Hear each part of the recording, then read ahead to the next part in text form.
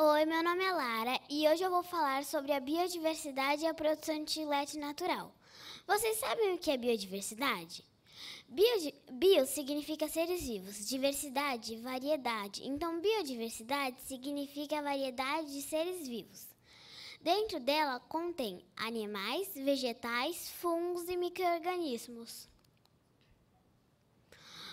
Nós temos a biodiversidade, nós temos um equilíbrio ambiental.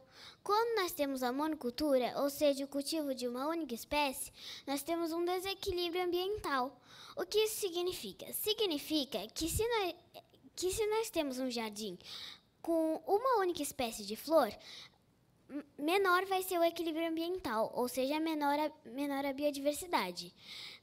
E se nós tivermos um jardim com várias espécies de flores, maior o equilíbrio ambiental, ou seja, muito maior a biodiversidade. Aqui é uma pequena parte da biodiversidade aqui do Brasil.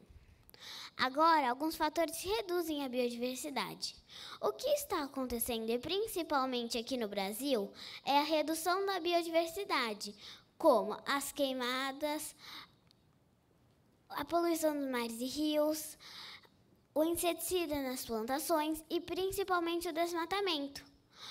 Alguns de vocês sabem o que o chiclete tem a ver com a biodiversidade? É bem simples. Existem dois tipos de chiclete: o chiclete sintético, que é produzido por uma substância do petróleo, e o chiclete natural, que é produzido pela seiva chamada chiclete da árvore sapoti, que cresce e vive nas florestas tropicais do México, chamada Yucatán. Lembrando Lembrando que essas árvores não são, não são cultivadas aqui no Brasil, apenas no México. Quem vai buscar essa seiva são os chicleiros. Eles apenas fazem riscos nas árvores, riscos nas árvores para não prejudicar o meio ambiente.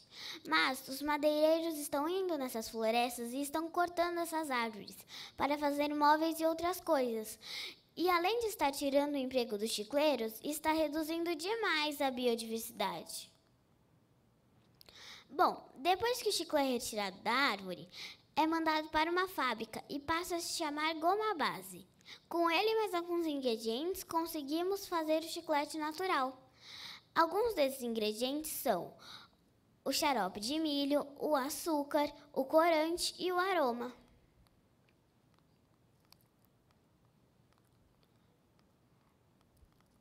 Bom, o que eu quero dizer na minha apresentação a mensagem que eu quero passar na minha apresentação é que nós podemos usar a biodiversidade, só não precisamos reduzi-la. Obrigado pela participação de todos.